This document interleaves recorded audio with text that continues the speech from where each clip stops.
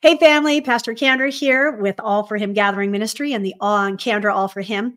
I'm excited just to touch base with you today on this Holy Monday. And what's the significance of Monday in this pivotal moment in Jesus's final week before the crucifixion and resurrection? Well, specifically, it's remembered for Jesus's cleansing of the temple, an act of authority and righteousness. And this event is recorded in all four gospels. You can see this in Matthew 21. 12 through 13, Mark 11, 15 through 18, Luke 19, 45 through 46, and John 2, 13 through 16. So here's why Holy Monday holds such significance. First of all, it was because of the cleansing of the temple. See, Jesus entered the temple in Jerusalem and he drove out the merchants and money changers. He was flipping tables and declaring, My house shall be called a house of prayer, but you have made it a den of robbers, which is in Matthew 21 13.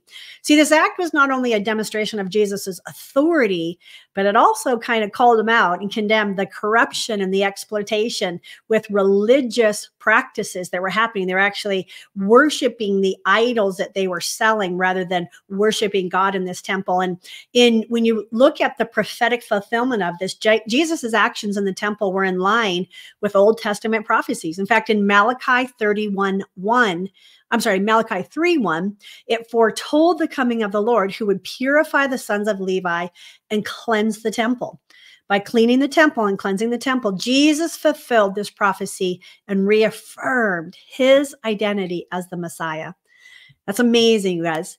Um, it reaffirmed true worship. So Jesus's actions really emphasize the importance of genuine worship and devotion to the Lord, to God. He reminded the people that the temple was meant to be a place of prayer and communion communion with God, not a, for marketplace or financial gain.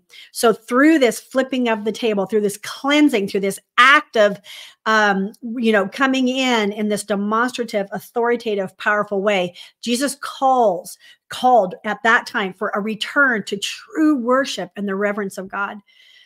Jesus' actions also on Holy Monday challenged the religious authorities of this time who had allowed uh, you know corruption to kind of infiltrate the temple. His boldness in confronting their practices really highlighted the need for just uh, fresh spiritual renewal and to reform within religious institutions. So overall, Holy Monday serves as a reminder of Jesus' authority his commitment to righteousness and his call to authentic worship. It prompts us as believers to really examine our own lives and practices and really make sure that we're aligning with God's will and his purpose. And Holy Monday, Monday really sets the stage of the events that will happen for the rest of the week leading up to the ultimate sacrifice and triumph over sin and death. So today, I just want to pray a blessing over you. And I want to charge you just to take a moment and really examine your heart. What idols have you put up in your life that need to come down?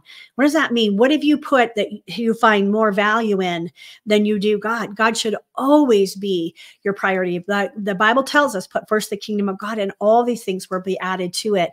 So our eyes need to be fixated on Him. And this is a great reminder as we posture ourselves during this incredible week to, re, to just be reminded that we worship one and true God and that God is our only, only God that we worship. And we put all false idols down before.